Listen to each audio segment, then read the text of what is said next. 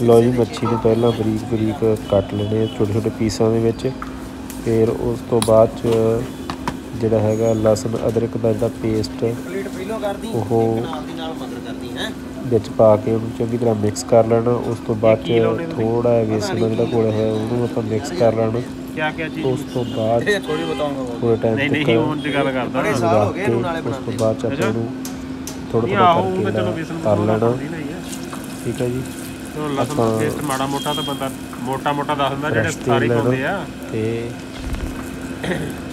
ਬੜਾ ਝਾਰਨੀ ਥੋੜ੍ਹਾ ਪਾਸੇ ਜਿਹਾ ਦੇਖਦਾ ਉਹਨੂੰ ਜਾਵੇ ਫਰਾਈ ਕਰਕੇ ਰੱਖ ਕੇ ਇਹ ਮੈਂ ਇੰਸਟਾ ਤੇ ਪਾਉਣੀ ਹੈ ਜੇ ਭੈਣ ਦੇ ਨਾਲ Fry 10000 ਕਰਨਾ। ਵੀਊ ਨਾ ਆਇਆ ਫਿਰ ਫਾਇਦਾ ਕੀ ਠੀਕ ਹੈ ਜੀ ਪਹਿਲਾਂ ਹਾਫ ਇਹ ਫਰਾਈ ਬੜੇ ਲਾਹਣ ਕਰਨਾ ਤੇ ਮੇਰੇ ਫਿਰ brown ਦੇ। ਫਰਾਈ ਕਰਕੇ ਤੇ ਇਹਨਾਂ ਦੇ ਪਾ ਦੇਣਾ, ਬਹੁਤ ਨਾਲ ਵਧੀਆ ਫੋਟੋ ਵੀ piece ਪਾ ਦੇਣੀ ਆਪਣੇ ਨਾਲ। ਬਣਦੇ ਨੇ। ਉਸ ਤੋਂ ਬਾਅਦ ਠੀਕ ਹੈ ਜੀ।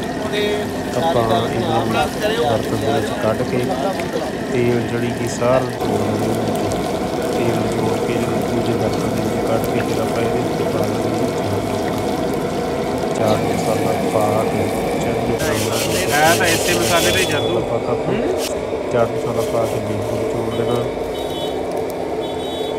ਠੀਕ ਹੈ ਹਲਕਾ ਜਿਹਾ। ਤੇ ਇਹ ਨਾਲ ਇਹ ਪਕੌੜੇ ਨਾਲ ਲੱਗ ਜਾਂਦਾ ਤੋਂ ਬਾਅਦ ਤੁਸੀਂ ਜਿਹੜੀ ਮਰਜ਼ੀ ਖਾ ਸਕਦੇ ਨਿੰਬੂ ਲਾ